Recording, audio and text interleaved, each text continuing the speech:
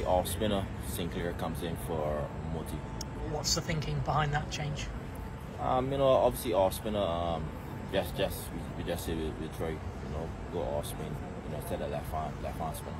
Does he offer you a bit more batting, perhaps, uh, more of an all-rounder as well? Um, no, I think I think Motie obviously is, capable with the bat as well. But uh, as I said, you know, the, the off spin option, we, we will go with this. You know, and obviously he's a, he's a very capable cricketer. You know, in totality. Know, I think the, the spin is always important. You know, to be on the, you know, three runs and all is always important. Um, so yeah, I think it's, it's, it's, a balance you need. Uh, obviously, pace, with especially at night, um, you know, bowl a lot. Um, but you know, I always think the uh, spin is important in, in the 11.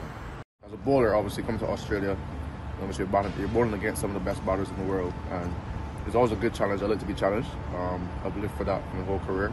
So for me, coming here is just you know ex- expressing yourself, enjoying the moment, relishing the moment, and just going out there and giving it a good go. Um, be confident in yourself and your skills, and let's see how the day goes for you.